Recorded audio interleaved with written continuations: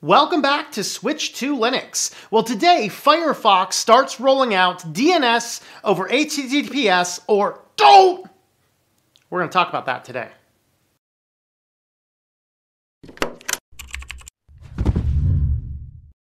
Welcome back to Switch to Linux. If you've not already subscribed to the channel, definitely subscribe down there. Like the video if you like it, dislike it if you disliked it, that's all cool. Leave me some comments. This is kind of a slight dissenting opinion and one that I put a little bit of thought into when we first started talking about DNS over HTTPS that started kind of uh, hitting the news cycles around October or so. And uh, as of today, when I'm filming this, Firefox is now starting to roll this out. Now, I am running Arch back over here. I did run all my updates. It did not switch me over. So if you have an existing Firefox, it appears as though your settings are not going to change. So my guess is if you uh, if you reinstall Firefox or if you install it for the first time, it now defaults in the United States to HTTPS over DNS by default and then sets Cloudflare as your DNS provider. Now, there's only two options. We have Cloudflare and we have NextDNS. I have a couple concerns about this issues. But first, let's go ahead and talk about the positives. Now, some people are saying this prevents your ISP from seeing what you're doing. No, it doesn't. It doesn't at all.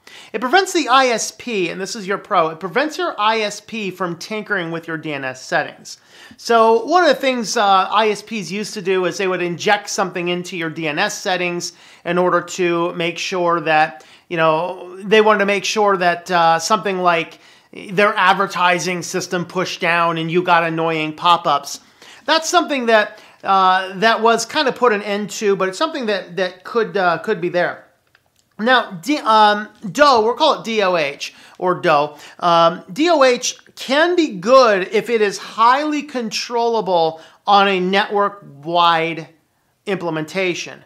I think it's always a bad idea the way Firefox and Chromium are trying to implement it. And I'm going to kind of explain why. Now again, the Pro, it does prevent tampering with DNS requests. And while you your ISP may not be able to see the exact website you're going to, most of your large services, they really only have one website per ISP okay, or per IP address. So they can still see the IP address, but frankly, they can still see the same stuff that an HTTPS will actually uh, will actually mask. They can see you're there, they can see you're transmitting data, they can see how, the, how much data, but they can't actually see what you're actually doing on that server. And so the pros, it's not about privacy. The pro is it prevents DNS tampering. But wrapped in that pro is the very con I'm going to talk about. And there are too many cons. I have four listed here, and I'm sure that there are more. There might even be more pros, but I spent quite a bit of time thinking about this, and I don't see a whole lot of other reasons. Now, the first con this is going to bypass any of your network settings, anything you're doing. So, for example, on my local network here, you cannot access any of those adult sites that I talked about in my library video.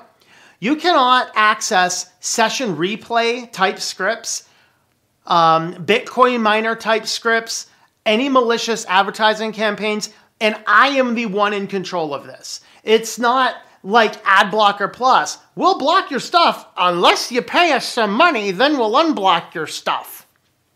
Well, interesting. Cloudflare doesn't block pretty much anything.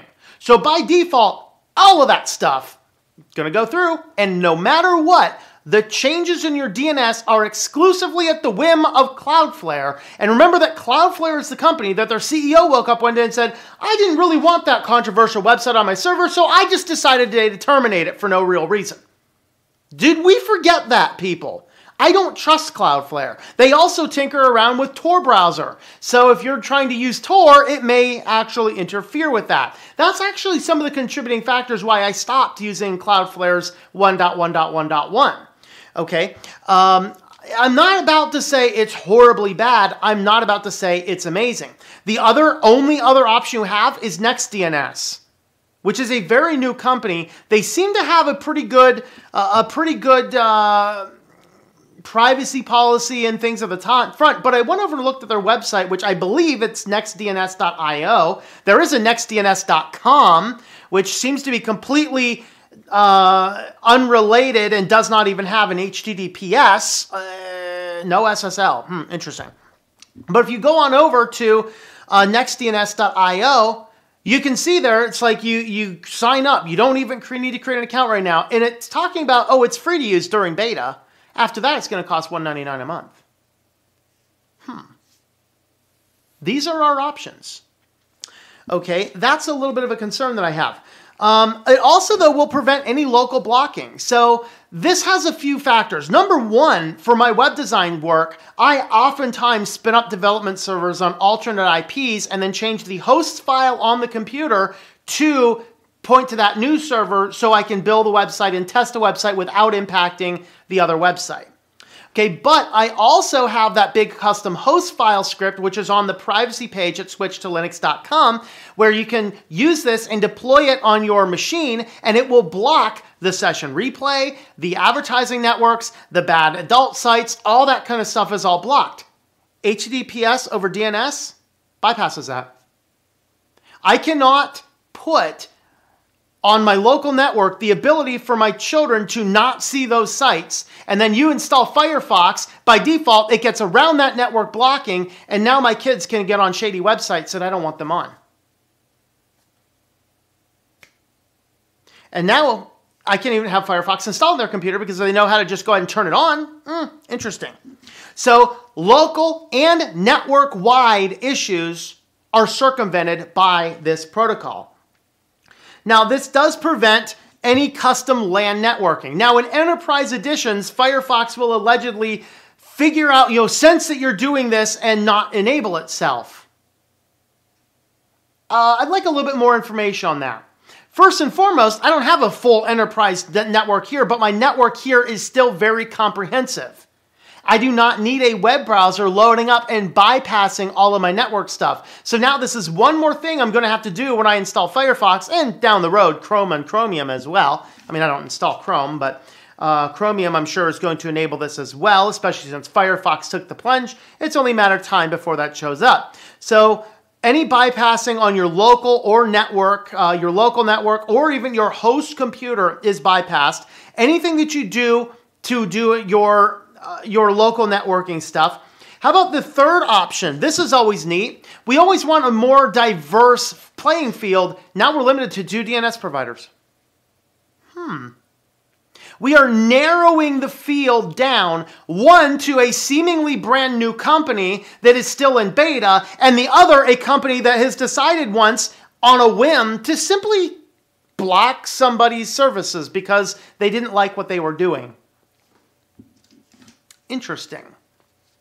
Now, the fourth is a future idea, not something related to Firefox doing DOH, but with other protocols. What happens when this protocol is becoming normalized and your embedded devices start doing this protocol inside of their own local DNS? You have now lost all control of that IoT device. You cannot even control it now on a network level, which means if Nest or if Alexa order me unicorn meat confirm, or if your Hey Google, all of these smart devices start implementing this technology by default, you will lose the ability to control what it is doing on your local level area.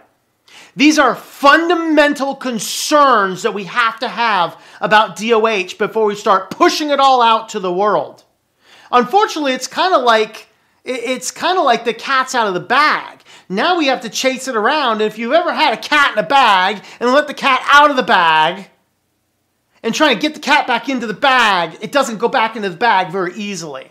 And that's kind of the problem. And I was thinking about having uh, having a demonstration of this with a cat in a bag but I put the cat in the bag to try, and I can't get the cat back in the bag.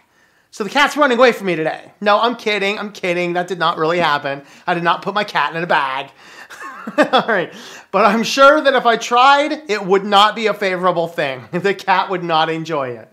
Okay, so these are my basic concerns. So let's look at a very brief summary. Number one, any local, direct on your computer, or network wide changes or filtering you're trying to do will not work. And by the way, I am working on a video for Pi-hole, putting it on your network to block all this kind of stuff. If you're not running a big router uh, based on pfSense like I'm running, I want to show you how to do that with a Raspberry Pi on your local network.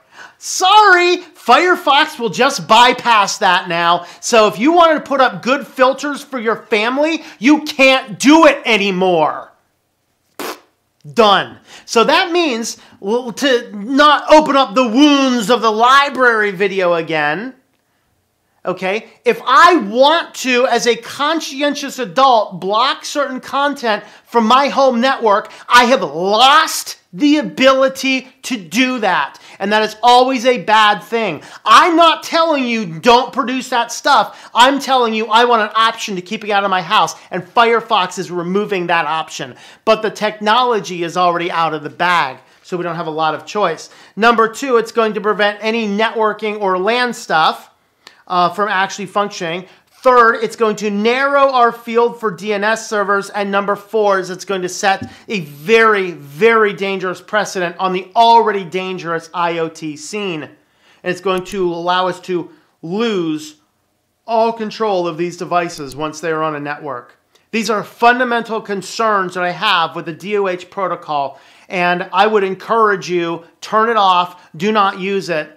And overall, I would say let's stick with what we got because it may not be perfect, but at least we still have control over it. Those are my thoughts on DOH. Let me know your thoughts in the comments down below.